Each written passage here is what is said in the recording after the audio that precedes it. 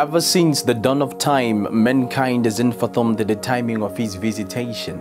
Suddenly, the Lord will come as a thief in the night unexpectedly. Suppose you've been caught with your pants down red handed. I don't know, will you be taken by surprise or what? Will you be there when tombs break open and mountains melt like wax before the Lord?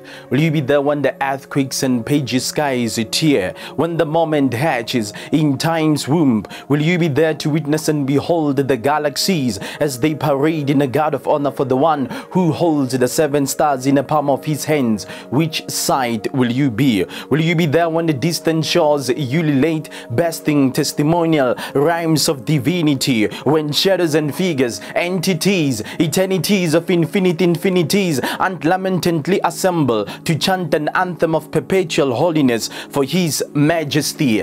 Ever since the dawn of time, mankind has informed the timing of His visitation. Will you be there at the sound of the trumpet when the Lord shall descend from heaven above, riding on the wings of the storm? when God's gentle giants in their distinguishing devices queue to receive the eternal prize in the dispensation of the fullness of the times. Can I get a witness in this house? This is a cornerstone poem mastered by the soul happiness of all intelligent beings. Up to so far, we are still waiting in bated breath with our hands fixed on the plow. We will never give up, let up, shut up until God takes us up. And this is the meditation that keeps our hopes perpetuated for the coming of the desired Messiah.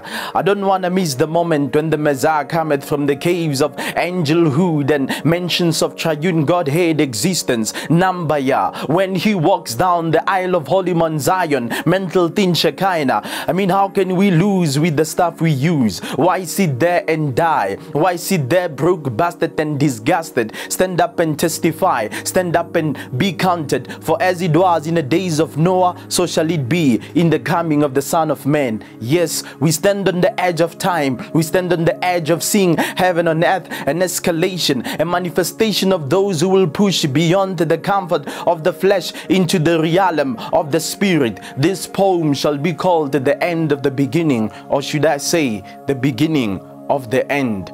Ever since the dawn of time, mankind has informed the timing of his visitation. Amen.